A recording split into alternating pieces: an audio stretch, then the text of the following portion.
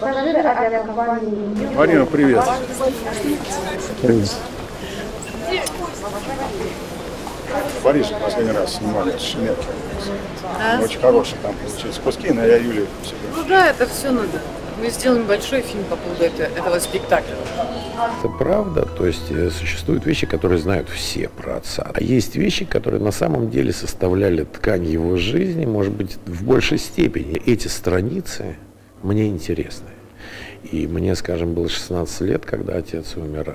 Я очень многого не знал. Он пользовался совершенно феноменальными составными рифмами. То есть до известной степени, конечно же, гитара ему помогала. Гитара, в общем, она скорее помогала ему скрадывать э, этот, этот невероятный труд, который он затрачивал на э, лингвистическую э, сторону своих песен. Он очень комплексовал как поэт, поэтому когда Бродский его написал великому русскому поэту, он просто меня замучил. Бродский назвал меня великим поэтом. Мишка, смотри, я, я видел, видел, видел уже, видел, все. Это не важно, что Бродский, важно, что я тебя считаю великим поэтом. И вся Россия.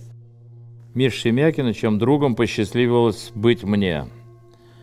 Как зайдешь в бистро столовку, по пивку ударишь, вспоминай всегда про Вовку, где, мол, друг, товарищ. А в лицо трехслойным матом, может, хоть до драки. Про себя же помни, братом Вовчик был Шемяке. Кто кончил жизнь трагически, тот истинный поэт. А если в точный срок, так в полной мере. На цифре 26 один шагнул под пистолет, Другой же в петлю слазил в Англитере. А в 33 Христу он был поэт, он говорил, Да не убей, убьешь, везде найду, мол.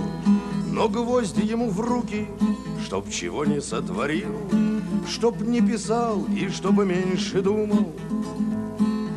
Меня прицеп. Поездка еще для него была, конечно, важной на тем, что он посетил Голливуд. И он был званым гостем туда. Милош Форман пригласил поэта, артиста русского, который очень знаменит в России. И он там был один из гостей, когда он его попросил спеть там. Тот говорит, ну чего ты, я буду петь? Он говорит, ну спой, спой. И когда он начал петь, а Натали Вуд, знаменитая американская актриса, наша пианистка, подстрочно переводили, то через несколько минут была тишина, они не понимали слов, но только друг друга спрашивали, почему он так кричит? Он же может потерять связки, он голос потерять невозможно.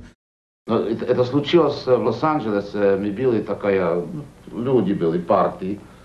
А, я сидел с Володей там. Никто э, не слушал, они говорили. А Володя начал играть что-нибудь, э, а никто не понимал.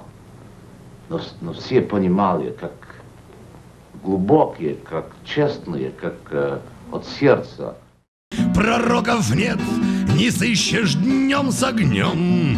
Ушли и Магомед, и Заратустра. Пророков нет в отечестве моем, но и в других отечествах не густо. У меня был знакомый студент Вова. Он специально ездил в Москву, специально ездил в Москву. Где-то он там э, за большие деньги купил эту пленку и буквально принес к нам вот на вечеринку, говорит, ребята, вот послушайте, э, значит, записи нового вот, вот певца, значит, Владимира Вы- Высоцкого. И вот буквально мы все были потрясены его песнями.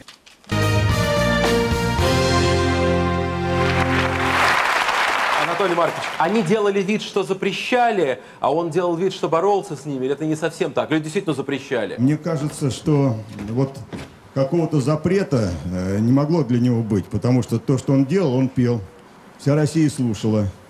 Вот. Слушали это все через того, что они получали Но официально-то он не пел.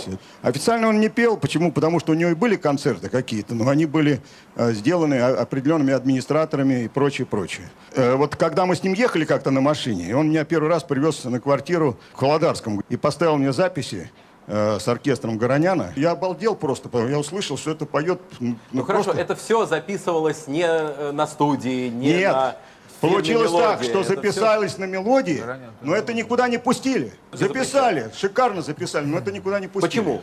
А вот почему, вот это вот нужно спросить Господу Бога. Купола в России кроют чистым чаще Господь замечал. Да-да, я не шучу. Выглядишь прекрасно, как тогда в «Колдунье». У нас до сих пор помнят этот фильм, представляешь? Одна из самых популярных кинозвезд, которых, сказать, знают и безумно любят в России. Несмотря на то, что, в общем-то, все фильмы твои были самые звездные, они уже имеют какой-то отпечаток времени.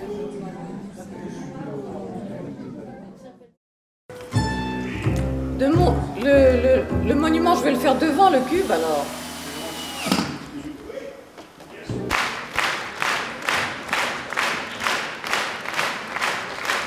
Он не принадлежит мне, понимаете?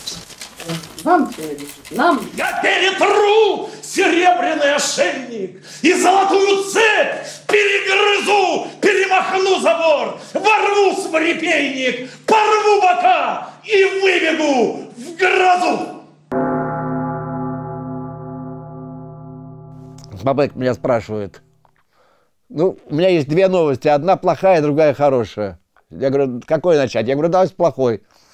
Он говорит, я, говорит, твои, твои колодки, говорит, подарил. А я говорю, так хорошая какая? Он говорит, Володя Высоцкому. Я говорю, а ну ладно.